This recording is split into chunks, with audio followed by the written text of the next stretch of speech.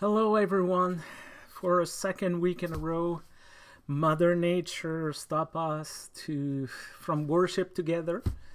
Um, I hope you're all well and remain safe during uh, the snowfall, and that you did not injure yourself while while uh, cleaning your car and your driveway.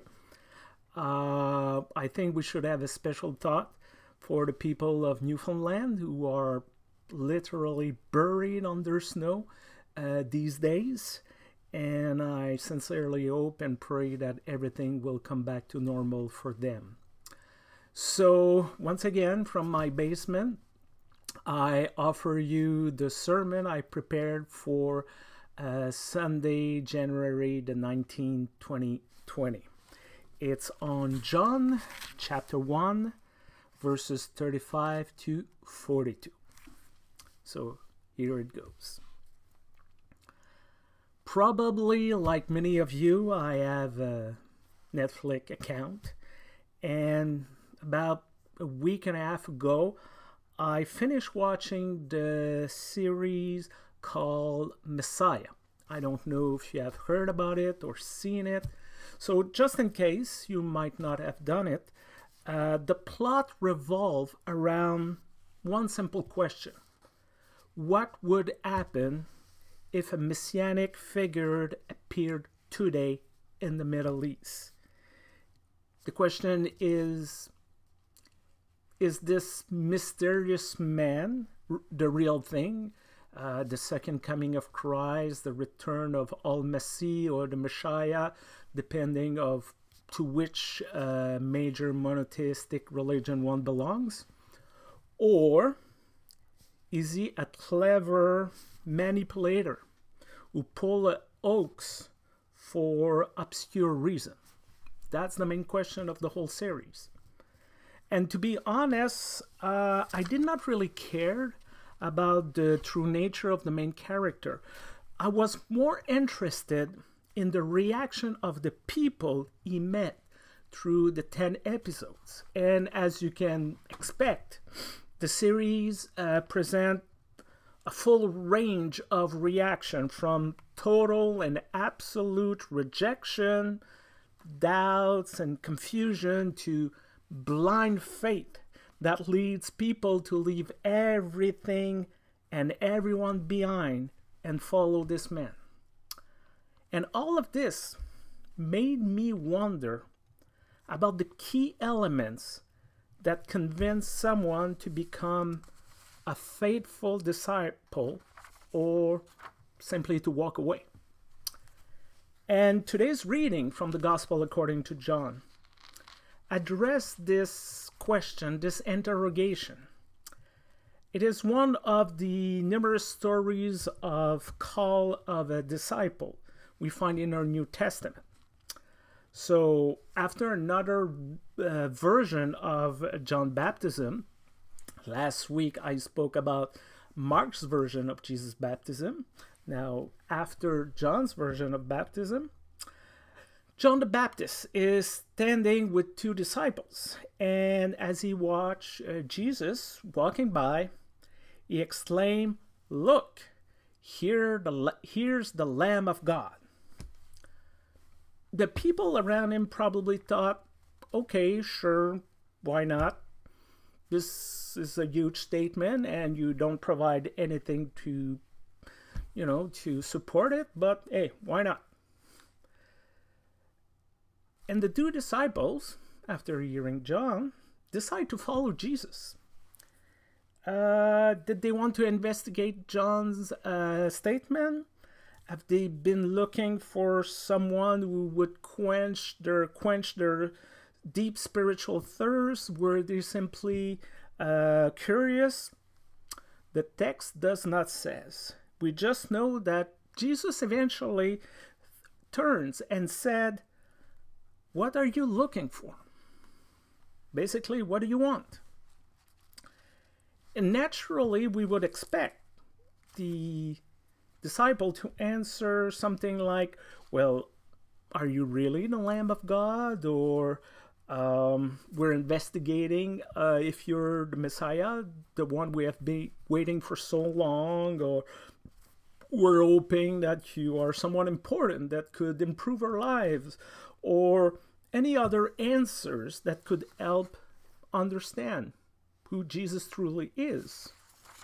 But instead, the disciple provides a strange answer Rabbi, where are you staying? And we want to say, really? They only have one shot to make a good first impression, and that's the best they come with? Because what difference does it make if Jesus is homeless or live in a huge mansion? How can this help them to figure out is he worthy to be followed? Why are they not inquiring about something concrete, about some hard facts like his origin, his credential, his training? And on top of that, Jesus' answer does not provide us more clarity on this whole story. He simply invites the disciple to come and see. This strange conversation makes me think about the old story I read in a book uh, a few years ago. That goes like this There was a shepherd who did not know how to pray. He used to say, God, you're the Lord of the universe. You know my reputation to be a very tough businessman. However, if you have a flock and you ask me to keep it, I will do it for free. For everything I got, I owe it to you. And one day, a theologian heard the shepherd and decided him to help him to to helping by teaching him to pray with the appropriate words and accepted uh, principle and belief of the church. So once the theologian left, the poor shepherd was completely confused. He remembered nothing of the theologian lesson, and the only thing that remained in his head that is that his old way of praying was wrong, so he just stopped doing it. Later, a voice came to the theologian in a dream and said, You robbed me of one of my precious pearls of my kingdom. The disciples who followed Jesus were not looking for a long winded sermon full of obscure theological truths. They were not interested to debate Jesus' place and nature and the whole concept of the Trinity. They did not want to be told how to pray and live their faith. The disciples just want to encounter Jesus. They wanted to be with him for a while and enjoy his presence. They were looking for something deeper by going beyond the mundane and empty words. The disciples were striving to experience the presence of Jesus in their lives and discover where this, this all of this could lead them. They did not want to be told the proper way to pray or to address him, but to discover his essence, absorb it, and let it guide their whole existence. For the last few centuries, I would say. Christianity has given a great importance on knowledge, teaching, and a reasoned way to understand our beliefs.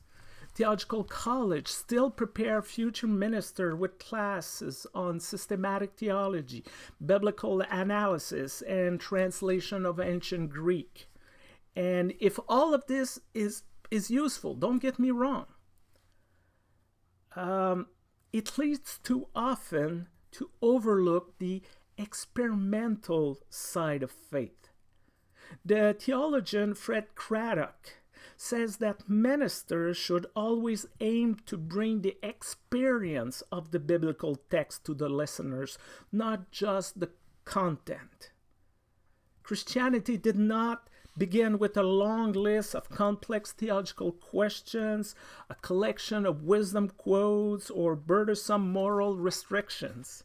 Its origin is found in the man who shared a human existence, a man who had emotion, friends, and doubts, and struggles, a man to whom we can relate. The disciple accepted Jesus' invitation. They went and they saw. What? Who knows? The text, once again, does not say much. It just said that they stick around for the rest of the day. Still, this encounter must have been quite something because right after it, Andrew found his brother Peter and told him, We have found the Messiah. And once again, notice the absence of long theological or biblical argument. Andrew did not describe any amazing miracles, surprising healing, or inspiring parable.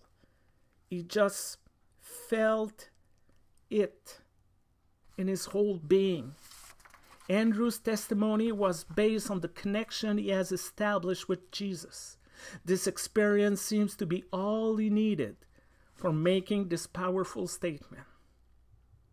And sometimes we are asked why we why we believe in God.